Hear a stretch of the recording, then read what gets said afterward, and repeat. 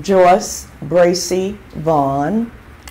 I am a 1975 graduate of the University of Arkansas at Pine Bluff.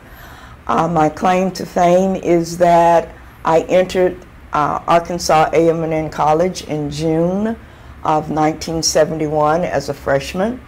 And by the time I was a sophomore, we had become the University of Arkansas at Pine Bluff. So I call myself a merger baby. Homecoming 2022 has been exciting.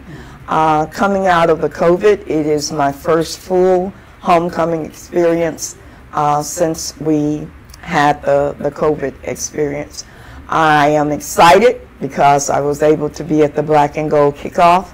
Um, I was excited to participate in coronation on last evening, and I'm looking forward to the activities coming up uh, this evening as well as the rest of the weekend.